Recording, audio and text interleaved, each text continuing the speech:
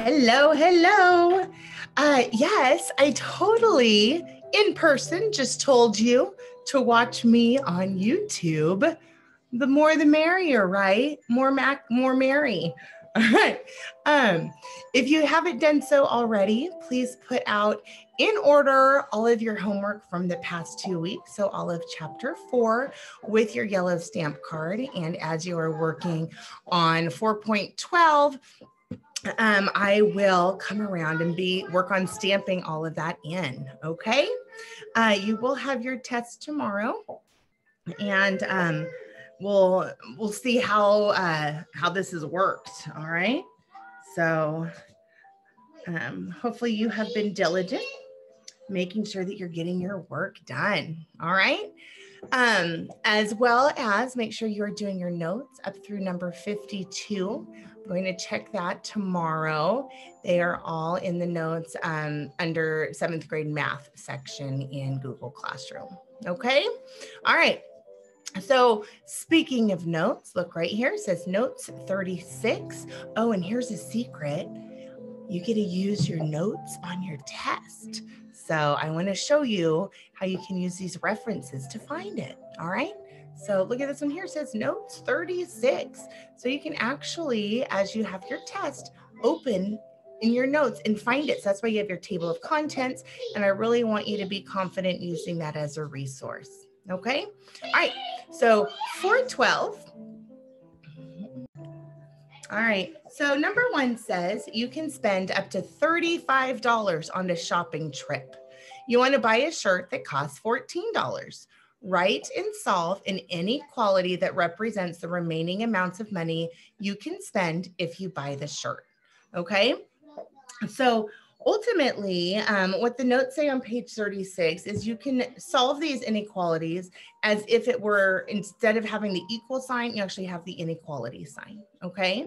So you have a certain amount of money, right? And um, you can spend up to $35. Okay. So up to 35. Okay. So the amount of money that you have is less than, you know, less than 35. Spend up to. Now, here's when I was looking at this, I wasn't sure what to do. I wasn't sure if it should be just this uh x less than 35 or less than or equal to. And so when I was looking at it, it says you can spend up to. And so because of that, I left it as just this less than because it didn't say you could spend up to or all of, I guess. And it's just, I don't know, it's one of those, I think it's ambiguous. So I either way, I, I'm just gonna stick with this. Okay. So it says you want to buy a shirt that costs $14. Okay, so if it costs $14, that's going to be taken out of the total amount of money that you have. Okay, so we're just going to solve that. S or X has to say less than 35 minus 14 or plus a negative 14. 5 minus 4 is 1. 3 minus 1 is 2. All right, so that's what you have left. That's the amount of money you have left to spend if you buy the shirt. Okay. So this next one, that's notes from page 36. Number two, or was it number three? Oh, it's number three. All right. We'll get to that when we get there. Number two. So I asked Mrs. Howe what Dorito was, and she said it's the shape that we come up with like this when we are solving equations and it looks like a Dorito. So I told her it makes me I and I actually since I've been doing these and seeing Dorito, I have bought several bags of Doritos in my house. So that's what Dorito means. All right. So 2x plus 5 equals 27. All right. So we need to solve for x. And so that just means that we need to get x by itself. First thing we need to do is move the 5, and we're going to do that by adding a negative 5 to each side. So that leaves us with 2x equals 22. 2 times x is multiplication. Opposite of that is division. So I'm going to divide both sides by 2. Leaves us with x equals 11. And look at this. We have a Dorito shape. And I used yellowish orange, nacho, nacho cheese Doritos, the original. All right, now that brings us to number three, which is another inequality. So I put on here, you're gonna check your notes number 37. And uh, we're going to solve this as we would an equation. 3x is greater than 15 to get x by itself. Same thing, so we have 3x greater than 15 three, uh, 3x is 3 times x. Opposite of multiplication is division. So whatever we do to one side of the sign, we have to do to the other. And that's going to give us x is greater than 5. Okay. So with the notes on 37, we'll tell you if um, you are dividing or multiplying by a negative symbol, then it's going to switch the direction of that inequality sign. If we had negative 3x is greater than 15. then what you would do when you divide both sides by negative 3, then you flip the direction of the inequality. Okay? So that's what that's saying. But we don't have that yet. All righty. I think that's it for classwork. Yeah. All right. So now, easy finding the perimeter of a triangle. We know that it's three-sided, but we're going to put in some variables in here and make it exciting. All right. Speaking of Doritos, little triangle Doritos here. All right. So this says, given the perimeter, find the measure of the third side. Okay. So first thing that we want to do is we want to make sense of the problem. Okay, so if the perimeter is seven and two of the sides are is noted, right? Three and two, um, then the third side must be seven, which is the perimeter, minus the sum of those two sides. Okay, so for number one, uh, here we are for number one. Okay, so if we have a perimeter of 14n plus 12. And then our two sides are 3n plus 8 and 2n minus 1. Then the sum of those two sides subtracted from our total perimeter will give us um, the length of the third side. Okay, so we are going to do our perimeter 14n here, I'm gonna move it up so I have more room. Okay, so our perimeter is 14n plus 12 minus, and then we're gonna add these two sides together. 3n plus 8 plus 2n minus 1. Okay. So, in those brackets they're the same as parentheses. Okay, so we just did it because it's a bigger amount. So in here, we're gonna add the opposite in here and the same thing here. So really, this is um, times negative one is how we're gonna get that out. Okay, so that's, we see that on the step there. I had to check, make sure I was doing the right thing. All right, that looks like a seven. It is not a seven. This is a plus a negative one. Okay, and we're going to distribute that. And of course, I did not give myself enough room to draw my distribute arches. Let's see, I can do it up here. So distribute here, here, here, and here. Okay, so all of that times negative one. Re rewrite this first part, 14n plus 12 plus negative one times positive 3n is negative 3n plus negative 8 plus, look at changing all their signs, negative 2n plus, here we go, negative times a negative gives us a positive. Okay, so now we have to combine like terms. Okay, so let's do everything that has the n. So we have 14n, negative 3n, and a 2n. Okay, so that is 14n and a negative 3n gives me a positive 9n minus two more. So that's going to be 7n. Okay, and so now just my numbers. There we go. Plus, all right, 12 and a negative 8 gives me 4. Plus one more is 5. Okay, so our third side is 7n plus 5. Let's check it. Mm. Uh-oh, they got 9n. Oh, for crying out loud, let's see where I went wrong. So here, combine like terms. Oh, so look at, they did what was inside the parentheses first.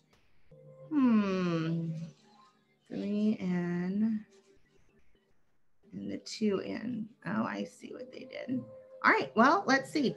So hold on, you can either cross this out or erase, but maybe watch what I do first, see if I can get the same thing as the example. All right, so, and of course, that's part of the PEMDAS, doing what's in the parentheses first. So it looks like they combined inside first.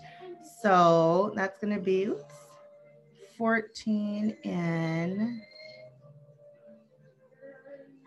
plus 12 plus negative 1 times. Okay, so here they did uh, 3n and 2n is 5n plus 8 and a negative 1 is going to be 7. Okay. Now let's distribute. What they got here? New. Oh, it is. Yes. Okay. Whew.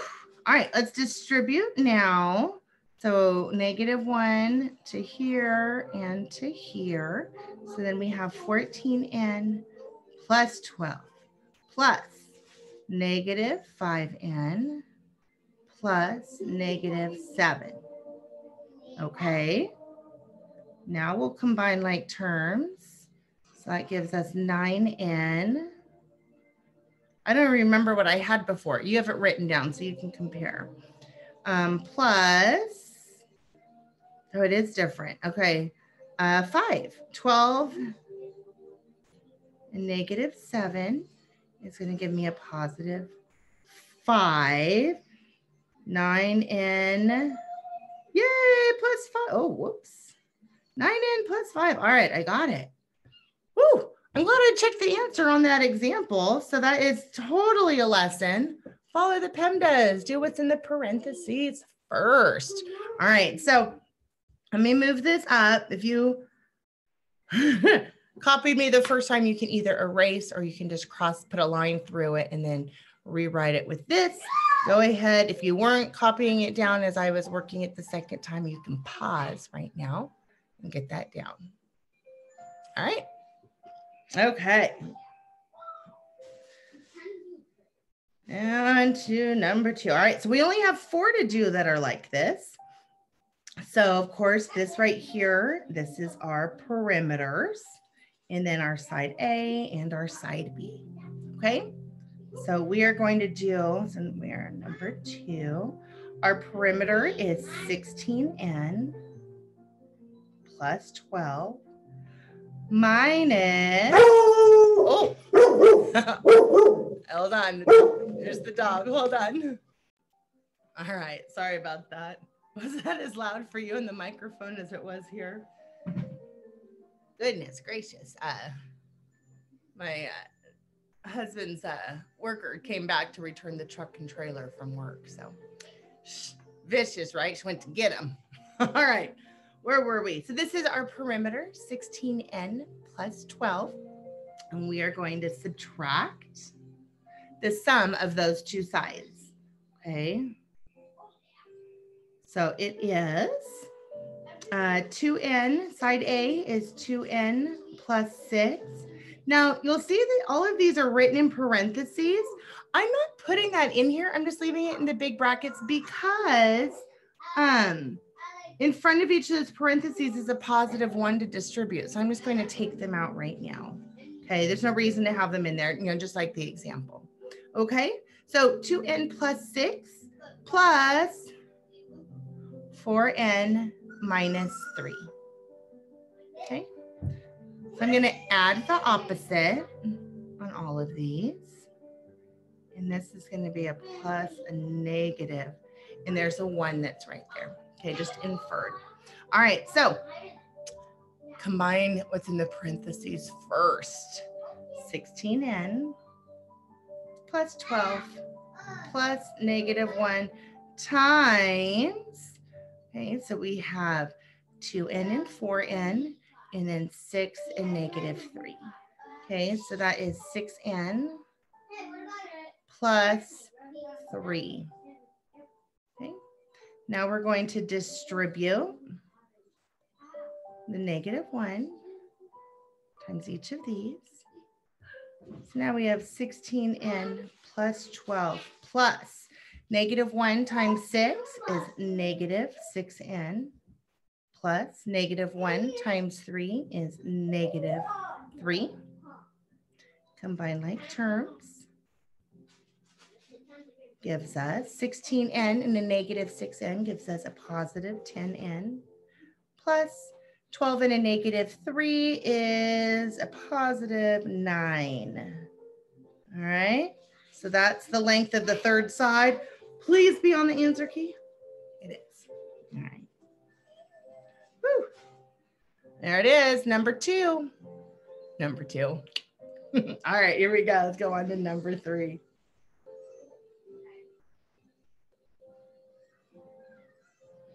Okay. Number three. So we have a perimeter of 9n plus 8. Okay, and to find our third side, we are going to subtract the sum of the two sides we do know. We know side A, draw a line through these so I can get the right ones. Side A is 5n plus 3. Side B is 2n plus 2.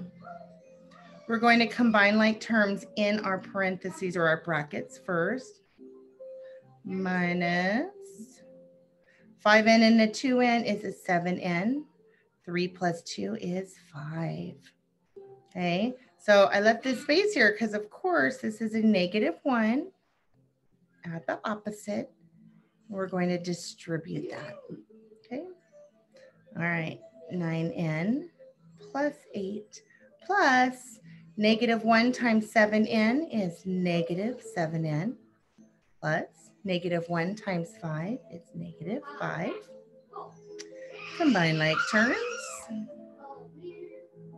Now we have uh, 9n and a negative 7n gives us 2n plus 3, which is 8 and a negative 5.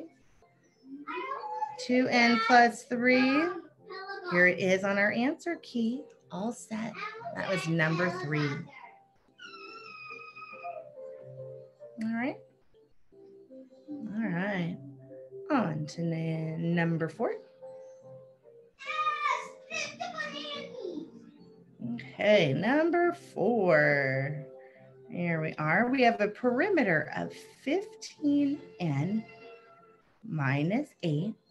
And we are going to subtract so that's our perimeter. To find our third side, we're going to subtract the sum of the sides we know. So side A is 3n plus 8. And then side B, 6n minus 5. Okay. Add the opposites in here. And you know, I'm just going to add in so this is minus this whole thing, but of course we have a one there. So we're gonna add that opposite also. All right, so let's combine our like terms within the bracket first. Plus negative eight, plus negative 1 times, here's where we combine it, 3n and 6n, and then 8 and negative 5. All right, so we have a 9n plus 8 and negative 5 is going to be 3. Now we are going to distribute the negative 1 to here and to here. And we have 15n plus negative 8 plus negative 1 times 9 is negative 9n plus negative 1 times 3, negative 3. Combine like terms gives us 15 and a negative 9 is positive 6n plus negative 8 and negative 3 is negative 11. There it is, 6n minus 11. All right. One more like this. All right.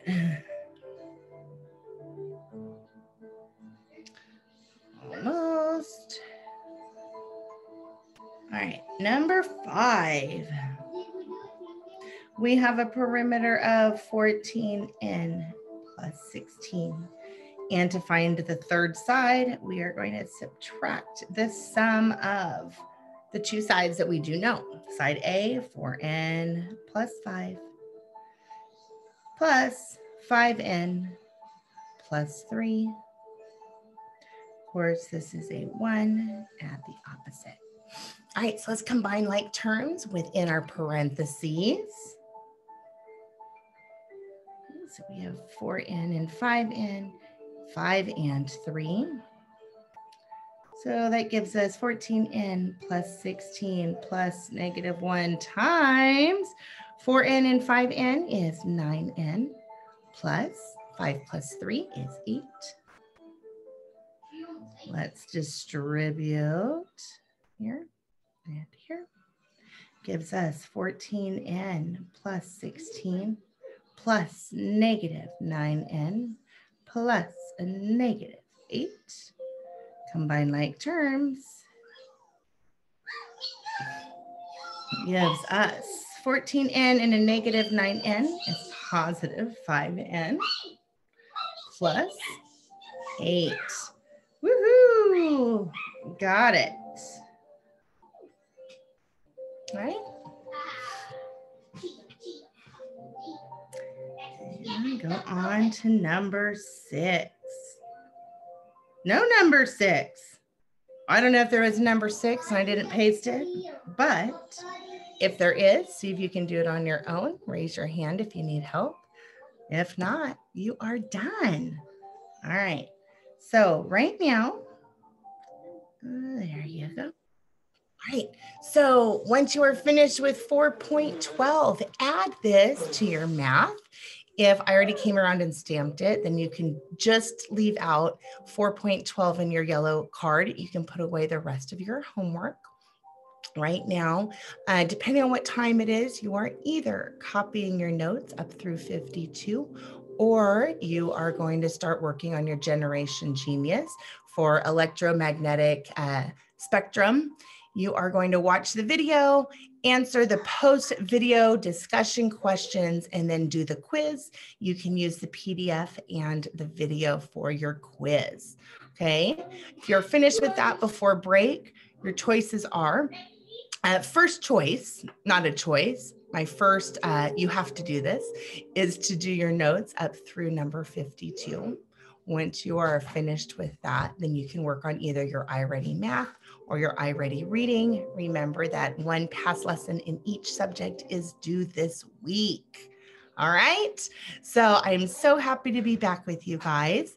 Um, and yeah, now you get me a live version. All right. Good job, you guys. Bye bye.